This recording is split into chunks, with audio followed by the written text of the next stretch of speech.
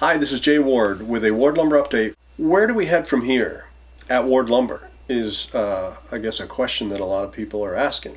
And, and it's, a, it's something I spent some time thinking about and thinking about where are we, how do we get through this, and, and how do we move on. Um, the first thing I want to say, and I, have told our employee team this uh, many times, we will survive. Will it be easy? No.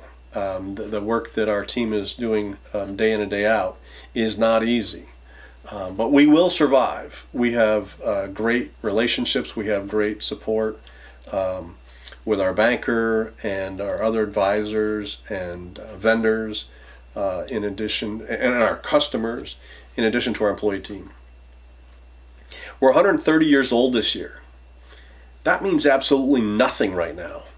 There is no playbook for what we're going through right now. Um, th th there's nothing has ever compared to this in my career for sure. Um, so we're making it up as we go. Um, we have a, uh, a um, I call it a COVID team of um, some key managers, and we meet um, two, three times a week. We were meeting daily at first, trying to just get through this. Um, that team, in addition to myself, is Debbie Straight, our CFO, um, Kevin Kennedy, our IT manager, both who have been here for 20, 30 years, um, Linda White, our assistant manager in Malone, uh, Dave Brousseau, our manager in Malone. Um, Dave is um, recovering from a, a, unexpected medical procedure, so he's not in the store. Um, he's working from afar. Linda's in the store. Um, so we have both of them on the uh, COVID team.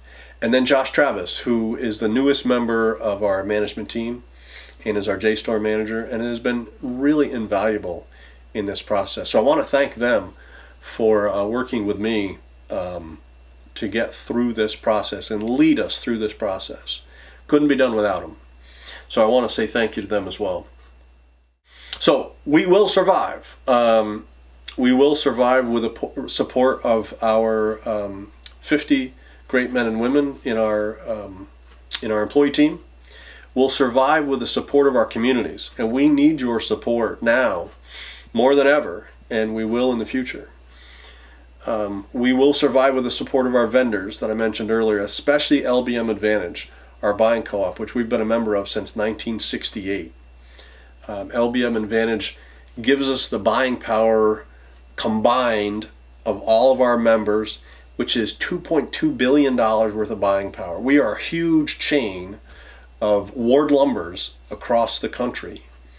LBM Advantage brings us so many opportunities um, and so many benefits. So we will survive and we will prosper another day.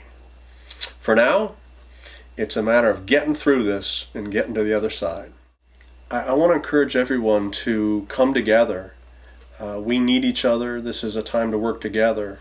So um, be kind and take care of each other. Stay safe, stay healthy. Thank you.